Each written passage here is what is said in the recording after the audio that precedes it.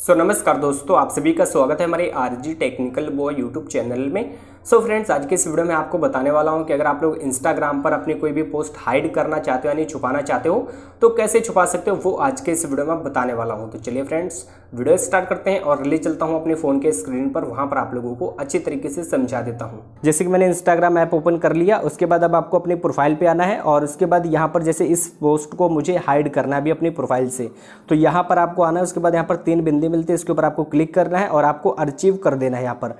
जैसे आप अचीव के ऊपर क्लिक करोगे तो आपका जो पोस्ट है यहाँ से गायब हो जाएगा। आप यहाँ पे देख सकते हो, यहाँ से वो गायब हो चुका है, यानी कि हाइड हो चुका है।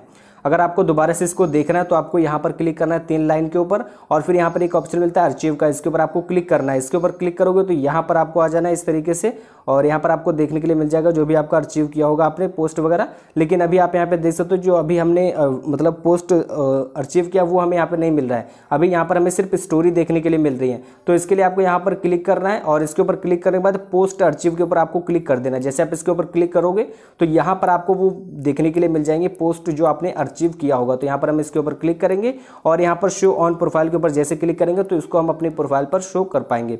जैसे अभी ये मेरा फ़ोटो है, इसको अगर मुझे दोबारा से शो करना तो यहाँ पर थ्री डॉट के ऊपर क्लिक करता हूँ। फिर यहाँ पर शो ऑन प्रोफ़ाइल के ऊपर क्लिक कर देता हूँ। जैसे शो ऑन प्रोफ़ाइल पर क्लिक करूँगा तो मेरी यहाँ से दोनों पोस्ट वापस आ चुकी हैं प्रोफ़ाइल पर अभी आप देख सकते हो तो यहाँ पर ये वाला फ़ोटो है। और अभी जैसे मैं इसको रिफ्रेश करता हूँ, आप यहाँ पर देख सकते हो तो ये मेरा फ़ोटो वापस से यहाँ पर आ चुका है। और जो मैंने एक और अचीव किया था, वो मेरे को यहाँ पर ये देखने के लिए मिल जाता है।